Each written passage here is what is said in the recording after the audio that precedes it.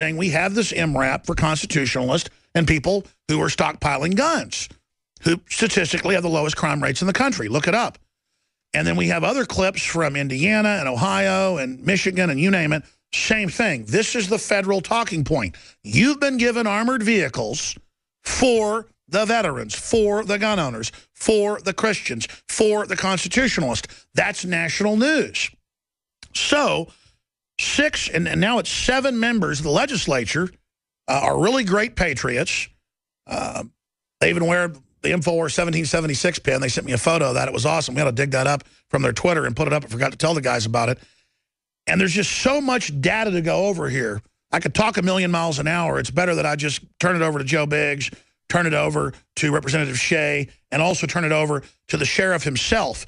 We're not going to play the whole thing, but when we played this video, he came out and said, we're liars, that it wasn't for constitutionalists. And then he came out and said that InfoWars was death-threatening him. And then in his next breath said, that's why we need the armored vehicles for the constitutionalists. So this guy is either one of the worst liars I've ever seen or something's wrong with him. And I mean that very serious. That's my opinion. I mean, I don't want to fight with the sheriff. I'm not some type of police officer hater. In fact, I respect the office of the sheriff. It's elected. That's the most respectable constitutional law enforcement office there is. And we have sheriffs across the country, from Milwaukee sheriff to you name it. Uh, we have the sheriff on all the time. I've had him on for 20 years that launched the sheriff movement to try to get liberty back, uh, of course. So it's very painful to see this, and something's going on. He's either trying to bait us or he's being manipulated by the Southern Poverty Law Center or some other organization. Let's play the clip that started all this last year of the sheriff's deputy saying it's for constitutionalists. Here it is. Well, this the nice thing about this piece of equipment is that if somebody is directing fire toward a team that's trying to get in, they, can, they safely can they can pull right up to a front. Take enemy fire and still try to address a threat without being fear of getting shot. So I'm thinking that is totally appropriate in Iraq, but where, what kind of a situation in the U.S. would well, you see that like happening? I mean, we've got a lot of constitutionalists and a lot of people that, that stockpile weapons, a lot of, a lot of ammunition. I mean, we've got a lot of constitutionalists and a lot of people that, that stockpile weapons, a lot of, a lot of ammunition. They have, they have, uh, you know, weapons here locally. Okay, and then he said the tape was edited, so we put out the entire 12-minute tape we got from the listener. Uh, but again, we weren't even breaking this. It was already out for a week. We just wrote a story about it. DrudgeReport.com picked it up. Fox News picked it up. And then we'll play later in the broadcast other sheriff's deputies at other departments saying the exact same thing with the exact same MRAPs. I mean, it's chilling to have armored heavy vehicles, wheeled tanks that, you know, Joe fought in Iraq and Afghanistan – in America. And they tell us it's for us, the Democratic Party basically does. And, and of course, a lot of these reps that are fighting back against this are veterans themselves. And the sheriffs come out and call them traitors and run down their service. Kind of like when you criticized Jade Helm, they kind of said, oh, he claims he was in the Army when they know you were in Rolling Stone, GQ, and in Army Times. I mean, you were somebody they pushed in front of the cameras because you were in a heavy combat unit. Yeah. And then they're like, oh, maybe maybe you were in the military. Maybe, you know, Matt Shea was in the military. Maybe these other people. It's really crazy how they try to deceive. So, Joe, what do you think's really going on here? And then we're going to go to Matt Shea. Well, this guy, this sheriff walks around with blinders on. And then the fact that he's using these YouTube comments as threats, we get death threats on YouTube. I mean, every day. It's just what happens on YouTube. I mean, I've got some of them right here that says, I hope your MRAP and your SWAT team takes you down. You know, this is something that they said that was on an InfoWars comment board that was in the Inlander article. Cops and then they said that we said this. Yeah, we don't. This is a major cover story anybody that hundreds log. of thousands read saying we're saying kill cops. Yeah, anybody can log on to YouTube. Anybody can post anonymously and put some kind of comment up. That has nothing to do with us. No one at InfoWars condoned that. No one here wrote that. So how does that have to do with us? Well, they're going along with the sheriff because first he said we said it a year ago, and now they're running it saying that we're saying it. Yeah, they're saying the InfoWars behind We could go on the Inlander and write that and say they said it. Yeah, exactly. So all we're doing is trying to confront the fact that this guy is out of control completely. The fact that he says he's going to use these MRAPs for constitutionalists. What's wrong with being a constitutionalist? What's wrong with wanting to stand up for that? And then the fact that in like some places, like in Washington, if you call 911, you have to say that you're a vet or not because they're going to approach you differently if they come to your home. There's a huge problem going on. It's really crazy. The people that have hijacked our government want to start a war with people in America that still are Americans. I mean, it comes down to that. If you're just mainline, mom and apple pie, you want low taxes, right to defend yourself, private property, you're just a good, hardworking person. You're the enemy because criminals have taken over, and they're trying to manipulate police now into believing that we're the enemy to have a civil war. That's my view.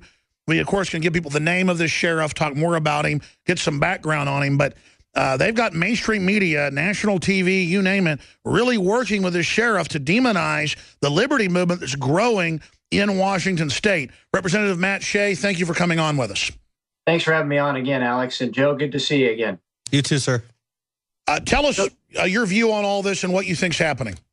Well, so this sheriff is completely out of control. In fact, I would use the word he's becoming unhinged. And this this started several years ago when he brought the Southern Poverty Law Center here to Spokane, Washington, to train sheriff deputies.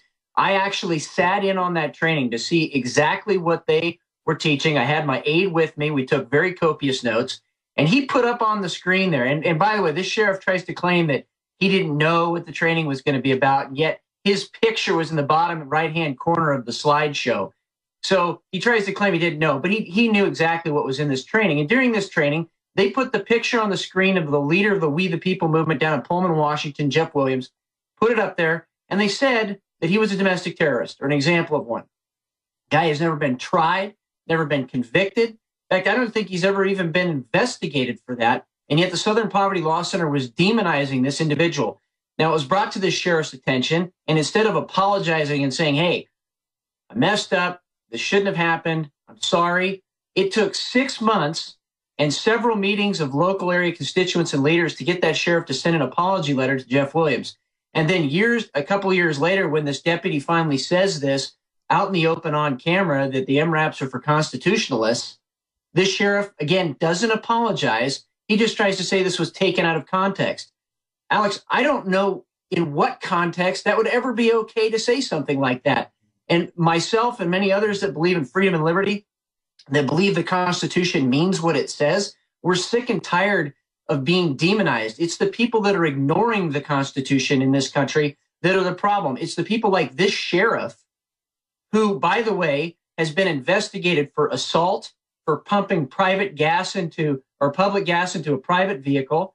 He is he's said publicly that he wants to stop all lying in his department, and yet there was a murder of a pastor, and a pastor literally mm-hmm on his own property here in Spokane, Washington. There was a $2 million settlement from that case because it was very clear that pastor was shot unlawfully.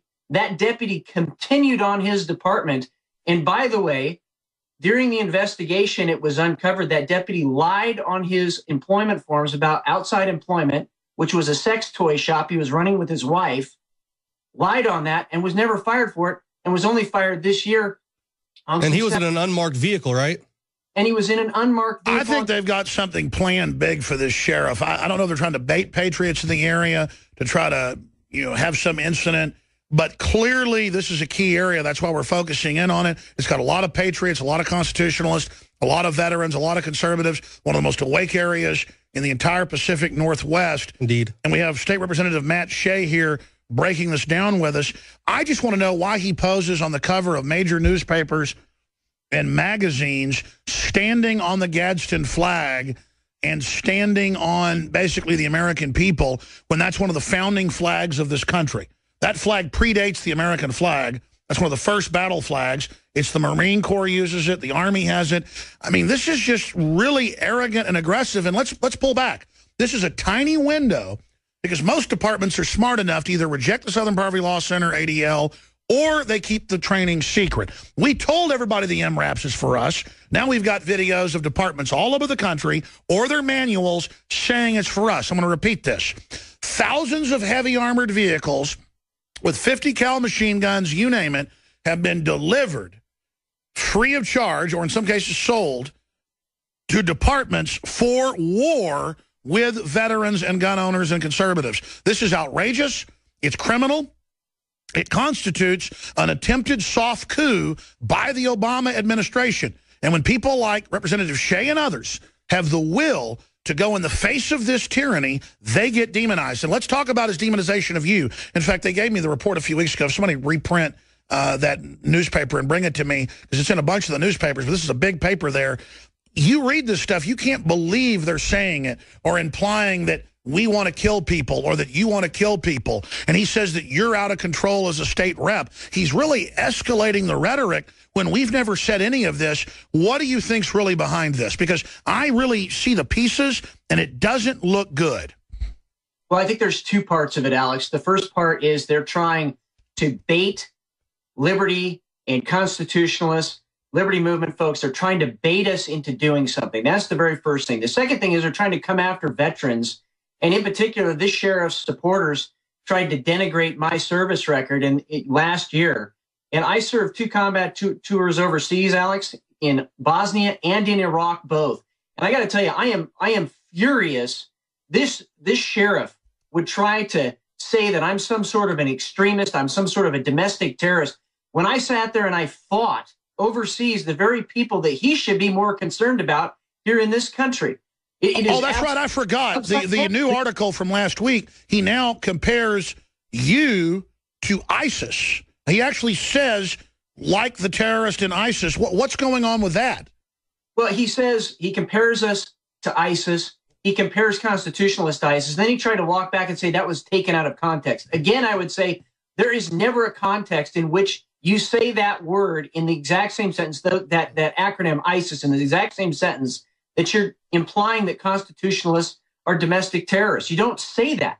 And that's what's so alarming about the sheriff. On top of the video that he did last year, October 20th, 2014, where he says, I can affect your freedom and take your life. Mm-hmm. We need to be asking questions of this sheriff. That's our job. And this sheriff, instead of blaming victims and blaming other people, should answer for his actions. And I have publicly asked that he resign and Alex, I'm here to ask you today. We need you up here in the Infowars spotlight on this sheriff because very clearly there is something going on in this area. In fact, there's kind of a tale of two sheriffs going on.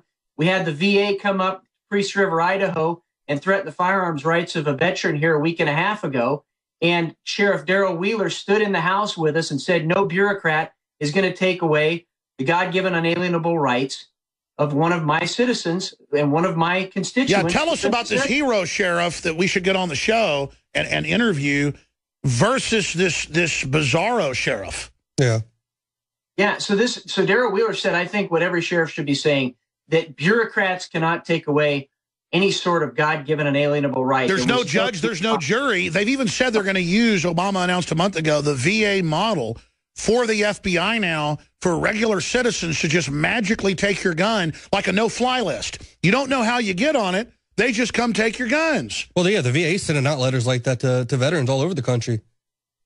Hey, sorry, uh, we don't think that you're quite stable enough. You're not able to handle your finances, so the VA is going to come in and seize your weapons. Now they're announcing all Social Security recipients that take automatic wire transfers. This is a the FBI announced this will be considered uh, financially uh, enabled to take care of themselves and uh, basically will now be wards of the state. Your guns will be taken. Well, it's only going to be a matter of time before Sheriff Ozzie Knezovich brings in Snopes to help solve crimes as well, to help uh, with the SPLC.